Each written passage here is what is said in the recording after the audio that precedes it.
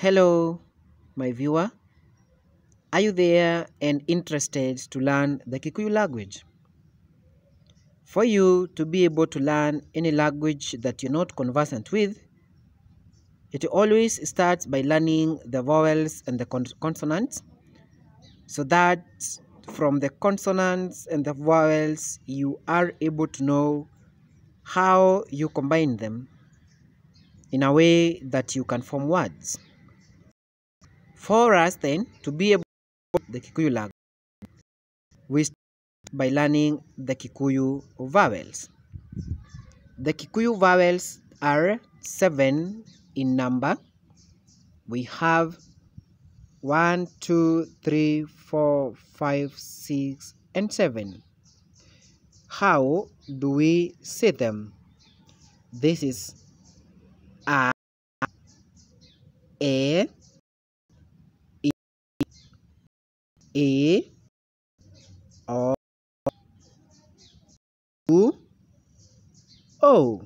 Again, a, e, i, e, o, u, and o. My dear viewer, please practice saying these vowels in Kikuyu. How do we say again? A, E, I, E, O, U, and O. Those are the Kikuyu vowels and they are in number. Then we have the Kikuyu consonant.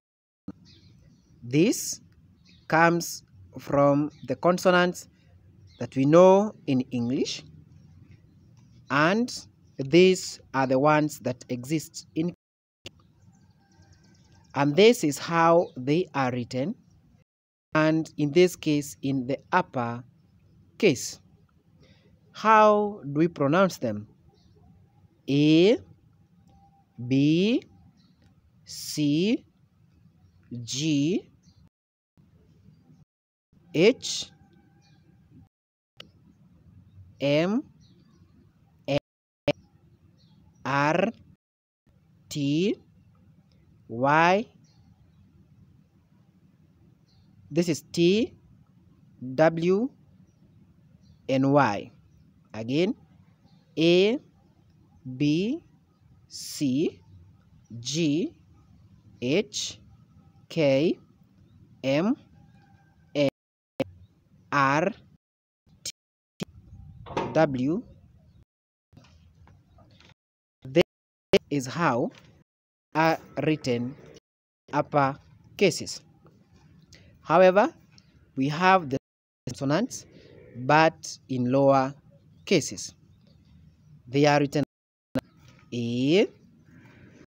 This is A for this A. We have B for this B. We have C for this C. We have G for G. We have H for H. Then we have K for this K and then we have M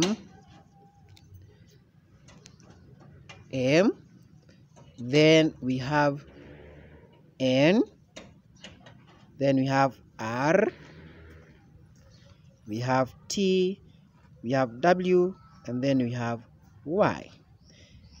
That forms the beginning for us to be able to learn the Kikuyu language Thank you for viewing and please don't forget to subscribe. This is your teacher, Teacher William.